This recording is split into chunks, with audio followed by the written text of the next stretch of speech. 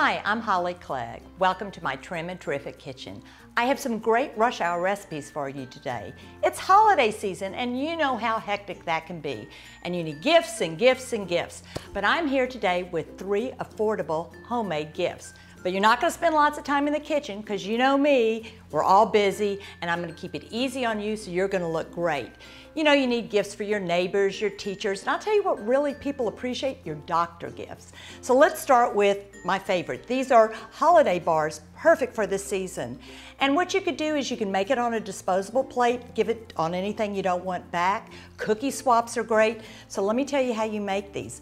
It's really the essence of the season. So have you ever had those Hello Dollies, those seven layer bar cookies? Well, that's about what this is. But we start with a ginger snap crust, which gives it that spice. You have tart dried cranberries, uh, white chocolate chips, and fat-free sweetened condensed milk. Remember, everything I do is trim and terrific. And this one's even diabetic friendly.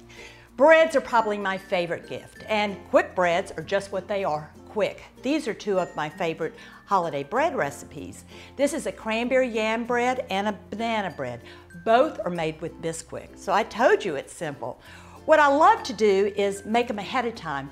You know, I have to tell a story. My daughter one time got mad at me because I said, I like to make gifts in different sizes. You can make them ahead and freeze them.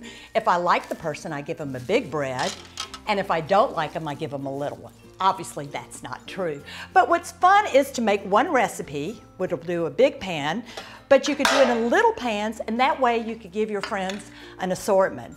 And then if you keep them in the freezer, when that unexpected person pops in, just a minute, I'll go get them. And they're also great snacks or just little hand-me gifts or hostess gifts or whatever. And last we have spiced walnuts, another wonderful make-ahead gift. And remember, walnuts are really high in omega-3s and really good for you as well. And I like to make these because they're, I put them on cheese trays, you could even put them in little mason jars. You could even just do something simple like wrapping up a plastic bag and tying a little you know, ribbon around it. Just something to keep it festive. Again, very simple to make. It has a little cayenne, gives it that little heat, sugar for the little sweet, and spice we have cinnamon and cumin, so it's a really wonderful combination of flavors. All these recipes are easy, affordable, and will make you look good to your friends. Remember, the gift of food keeps on giving.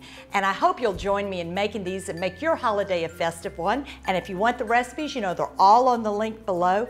And come see me on Facebook and all the other social media platforms because we have lots of fun. Happy holidays, and I'll see you in the kitchen.